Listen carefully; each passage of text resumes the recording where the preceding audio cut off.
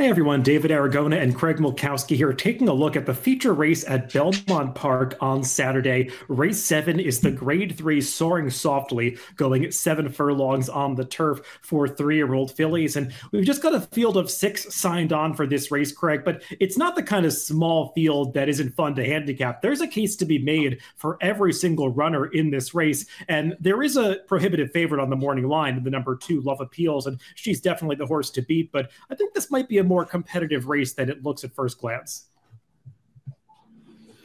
I agree. There's a couple horses in here that are interesting without a whole lot of running lines, and we also have we're we're back at Belmont. We haven't seen these seven furlong extended sprints for a while. I always find them a little more interesting.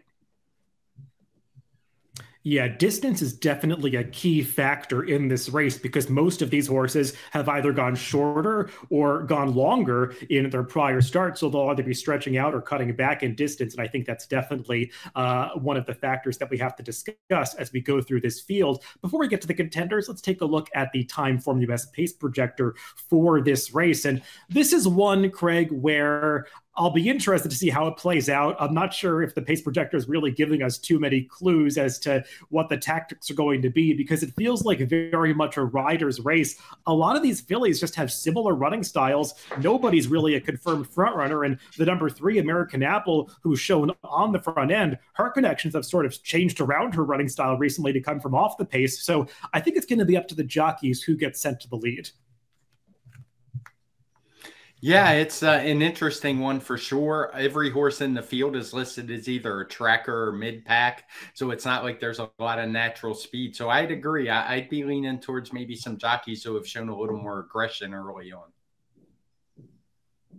yeah, if I had to venture a guess, I might actually say that the number four, Queen Picasso, is the likeliest early leader, even though she's shown last on the pace projector. But uh, it's hard to be certain about that because it's definitely one where the jockeys are going to have to play the break or perhaps formulate some plans ahead of time.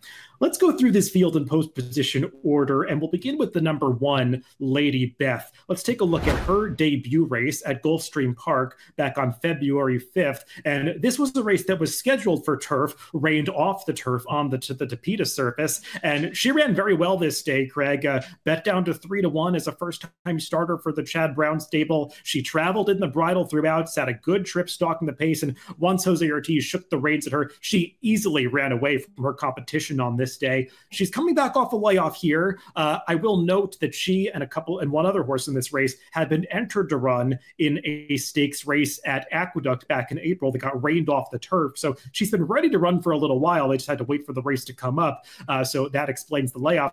But she will have to switch to turf for the first time. Yeah, and she's been working pretty regularly, as so uh, it's not like she hasn't been ready to go for a while. Uh, I really liked what I saw in that race. In the replay, we just kind of see the stretch. What most impressed me when you watch that race, if you go back and see the replay, is she just kind of cruised by the leader without even being asked. It looked like she had a lot more in the tank than me, so I'm not going to take that 91 speed figure all that strongly as a big indicator of her ability here. Yeah, I was impressed by that race as well. She was uh, uh, going away easily, as you said. I do wonder a little bit about the turn back to seven furlongs. You know, they had intended to run her longer in her next start uh, at Aqueduct, but this seven furlong race is the stakes that came up. So we'll see if she can handle the cutback in distance.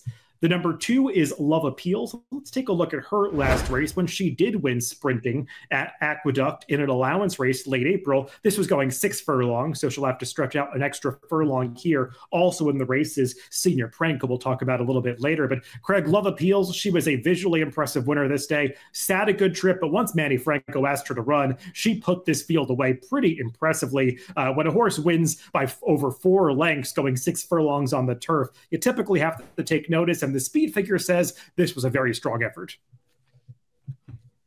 Yeah, that's what I was going to say. She was visually impressive. She was also numerically impressive, and she handled the one turn no problem. She's won at longer, around two turns at Gulfstream, going seven and a half. So I've got no knocks on this filly. I just wonder she's going to be heavily bet. She's going to be the favorite, and I think maybe the competition's a little bit stronger than what that morning line would lead you to believe.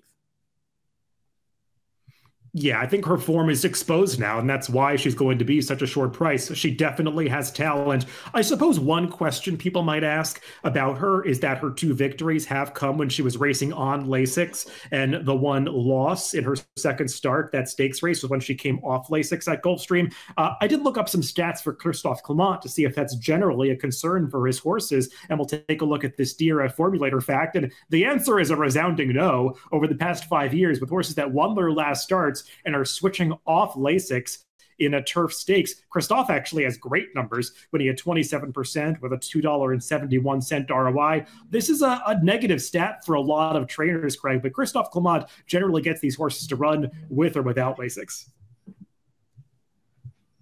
Yeah, I was aware of those same stats. I remember the list you published, so I don't think it's a big concern. I think there were some other issues going on in that race that maybe she just didn't run her best. The number three is American Apple. And let's take a look at her last victory, all the way back in October of her two year old season when she won the grade three matron stakes at Aqueduct. And this was also her lone prior trip to the New York circuit. And she won this race pretty impressively, Craig. And I remember we had talked about it at the time that we were sort of surprised at how fast this matron speed figure had come up. But it's really held up over time. There were some good horses in this race. The third place finisher, Dance Macabre, has come, gone on to do some nice things, including last time out when she actually beat American Apple in that Mamzelle Stakes at Churchill Downs. American Apple's now third off the layoff during her three year old season. I think the big question for her is the seven furlong distance. Yeah, I mean, I guess you could look at her PPs and see her two wins have come at six and six and a half. All her other, most of her other races were all at shorter, where she didn't fare as well. She did try two turns at Ellis once uh, and kind of packed it in, but it seems to me like distances maybe this a little better. Maybe it's too long, but it seems to me like five and a half is probably too short. Yeah, she struck me as maybe one that was better going the shorter distances, but maybe that's just those are just the races that came up in her last two starts. Uh, she definitely did run well over the six in the matron last year, so certainly one to consider in this competitive race. The number four is Queen Picasso. Let's take a look at her debut victory at Gulfstream Park from early March. This was a mile and a 16th race on the turf. Seemed like a pretty strong affair just based on uh, the way this race handicapped on the way in. And the fact that this Christophe Clement trainee went off at seven to one really speaks to how competitive the race was. But, but she was ready to go on debut. Got a good trip, uh, traveling strongly in the bridle, chasing that somewhat moderate pace, but she finished off pretty well well, Craig. And she's one of those, like Lady Beth, that was entered in that stakes, the Memories of Silver and Aqueduct, got rained off the turf. She instead waited for this spot. I feel like, though, she's one that might be benefited from having waited for this race because there's plenty of dam side pedigree to suggest that shorter may actually be better for her.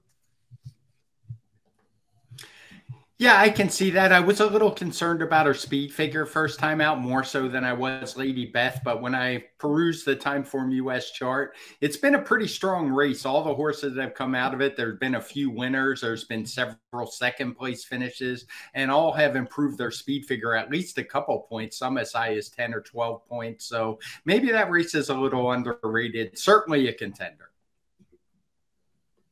Yeah, I, I, felt like that race might be a little underrated. The runner-up, I believe, came back to run a 105 Timeform US speed figure, winning her next start, I, I, think, on synthetic. And as you said, others have come back out of that race to improve. And just to expand upon the pedigree, uh, she's a half sister to a horse that won the Group One Prix de la Forêt in France. Uh, that's going seven furlongs. Uh, the Dam, she's a half to a horse uh, that was a Group One winner, going seven furlongs as a two-year-old. So definitely pedigree to get this distance. The number five is Quarrel. Let's take a look at her last race, which came in the end of 2022, back in November at Aqueduct. And she has to work for this victory. Gets a little bit close in the late stages here. Um, looks like she's not really wanting to run away from her competition, but this was her first time on the turf, and she certainly handled the surface, Craig. And if you look at her debut race, when she ran a nice speed figure going six furlongs on the dirt, maybe you'll say to yourself that shorter on the turf could actually be better for her. Yeah, I have no problem with that. She's coming off a pretty long layoff, and normally I I really want to bet these horses. I'm a little shaky on the trainer, but she ran that 101 speed figure, which was pretty good. And when I say shaky on the trainer, I'm talking about off the layoff, not not the trainer in general. But that 101's good, particularly coming as a two year old. If she had the expected maturity, uh, she could easily be up there with the stronger uh, betting choices in this race yeah, I think she stacks up well in overall ability, and we'll see if she's ready off the layoff, but the price should definitely be there. The number six is Senior Prank, and we already watched her replay when she finished behind Love Appeals. Uh, we'll take a look at her past performances in Timeform US, and she earned a nice speed figure for that race, Greg, even though she was no match for Love Appeals on that occasion. Uh, broke a little bit uh, outwardly, uh, was slow into stride that day, was picking up pieces at the end ran like one that might want a little more ground than the six furlongs. She gets it here, but she's just the kind of horse that I would want to price on if I was going to back in a race like this. Yeah, I mean, it's uh, the other Chad Brown. We've certainly seen them win before. It was just hard for me watching that replay to to see any kind of trouble, enough trouble that would make me think she could reverse the tables on love appeals, let alone beat some of the others in here as well. Well, let's throw up our picks for this soaring softly stakes. And not a big surprise to me, Craig, that we've got all six numbers on the screen here at our picks. It's just that competitive kind of race. So uh, I'm not surprised that we have a minor disagreement. Um, I think we both respect Love Appeals, the favorite, but there are other fillies with upside to go to, and you chose one of them in Lady Beth.